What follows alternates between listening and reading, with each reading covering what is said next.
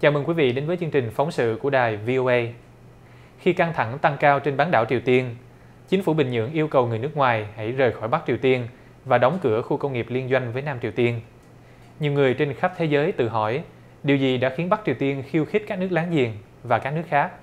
Sau đây là nhận xét về lãnh tụ Kim Jong-un của hai chuyên viên, trong đó có một người từng làm gián điệp cho Bắc Triều Tiên.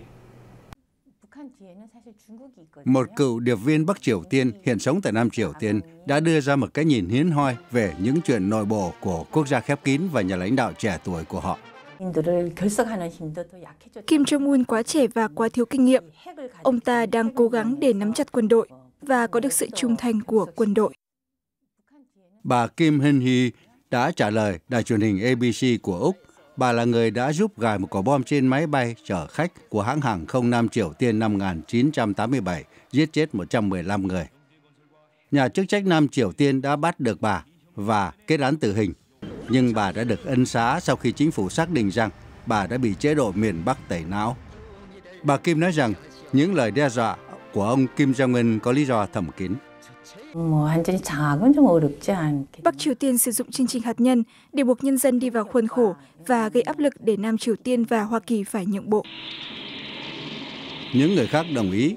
Bà Susan DiMaggio, chuyên gia tại Hiệp hội châu Á, nói rằng chế độ Bắc Triều Tiên chỉ tìm cách nắm giữ quyền lực. Chúng ta hãy xét tới tình hình ngay tại Bắc Triều Tiên. Về mặt kinh tế cũng như về mặt nhân đạo, thì tình hình thật là thê thảm. Như vậy, có nhiều phần chắc là chế độ này sử dụng ngày 15 tháng 4, ngày kỷ niệm nhà lập quốc, để phô trương sức mạnh của quân đội. Xem đó là cách để huy động quần chúng và hâm nóng tinh thần dân tộc để ủng hộ nhà lãnh đạo mới. Nhiều nhà phân tích nói rằng, mặc dầu đưa ra những đe dọa, quân đội gồm 1,2 triệu người của Bắc Triều Tiên không có dấu hiệu nào là đang chuẩn bị chiến tranh. Nhưng các nhà phân tích nói rằng, Bình Nhưỡng chắc sẽ thực hiện một số hành động khiêu khích như bắn một phi đạn hay thí nghiệm một võ khí hạt nhân để kỷ niệm ngày sinh của nhà lập quốc Kim Il Sung, ông nội của nhà lãnh đạo hiện nay.